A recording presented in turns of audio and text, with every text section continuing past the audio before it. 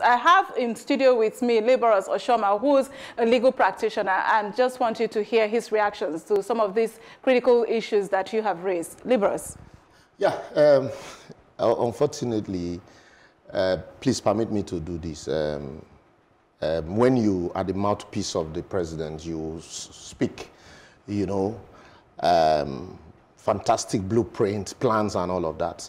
But as we speak, all of these are in plans, and we know this government to be very good on paper, uh, but in terms of actualizing, you know, what's on paper, it's been always very difficult. From 2015 till date, Ngelale can also attest to this fact because he used to be on the same side that you were, and uh, I also remember him putting hard questions to, to guests like this.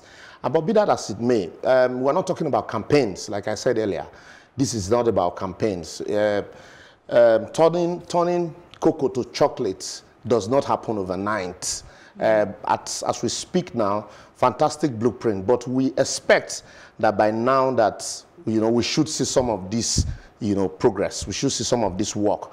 Talking about fertilizer distribution also, if you remember, Femi, um, um, former Minister for Agriculture, um, Adesina, who is currently the chairman of the, the president of the African Development Bank, did a fantastic job with fertilizer distribution.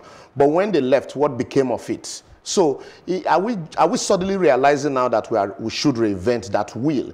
You know, so it's not novel. It's, it, there was already a plan in place. I had expected that plan to con continue. As we speak now, it took the COVID-19 for us to realize that we know the uh, border that we locked long ago were not sufficient in rice production. We're still discussing how we should be sufficient in rice production a few years from now. When you listen to you know, people from the presidency talk, you think they're talking about Brazil, talking about Europe and not Nigeria. As we speak now, hunger is a serious pandemic than the COVID-19.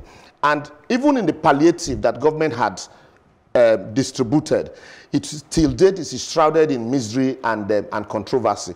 That recently the government had decided to even look into the distribution and maybe probably fashion a new way to do all of that. So if we cannot address these basic needs of the people. So all of these fantastic blueprints, let's not begin to talk as if they're already on ground and they're already in existence. What people want to hear now is how do you, because the states and the local government and small and, medium scale enterprises drives the economy. The central bank had said that um, there is a 100 billion naira loan to uh, uh, uh, um, SMEs. Mm -hmm. But as we speak now, what are the criteria for addressing, for assessing these loans. They are still not clear. They are shrouded in secrecy and miseries. And, and so if you cannot drive the small businesses... Yes, please allow me to come in. Let, let me finish. I allowed you, I allowed you... Uh, you, we, we will bring you, Ngelale, a, a, to respond. a lot of time. Okay, and, okay. Yes. and, and so as we speak, the small, I'm a small businessman, so, so, the small and medium scale enterprises can still not access these funds. And not to talk of the everyday market woman that which are at the lowest ladder of, um, of, of um. Uh, the. And I had expected, we, we're not discussing a local government here. The federal government talks as if, you know, they're operating a local government system. That's why people will tell you that what we have here is the president is a local government chairman, and you see the entire country as one big local government. What we are discussing here is a federal structure.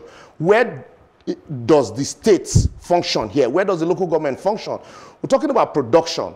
Cashew is Nigerian uh, uh Ogbomosho cashew is one of the best cashew in the world, okay. but we export them to Vietnam. We're talking about production. Mm. Even uh, petroleum product here, we are still exporting. And as I speak to you now, the government recently gave licenses to um, um, uh, independent marketer to export fear. And yet there is no, okay, no forex to back up the importation. And, and, so we shouldn't be talking as if uh, right. we're discussing Ngelale, from the are you, moon. Are you still there?